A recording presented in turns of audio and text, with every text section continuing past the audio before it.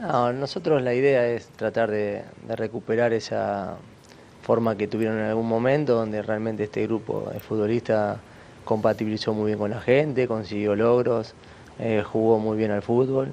Eh, y la idea es volver a retomar esa línea que ellos mismos eh, mencionaron que en algún momento habían perdido. Así que vamos a intentar, desde el compromiso genuino, del futbolista y del colectivo poder eh, transmitirle eso a, los hinchas. Así que en eso sí hay un compromiso extremo, diario, de, cada uno de los que estamos acá para, el mejor, para lo mejor de Racing.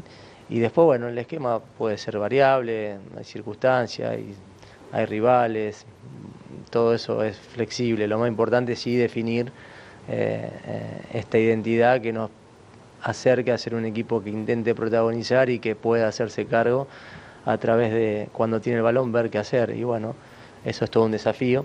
Así que vamos a intentar eh, en, este, en este tiempo que tenemos de poder eh, llevar adelante eso.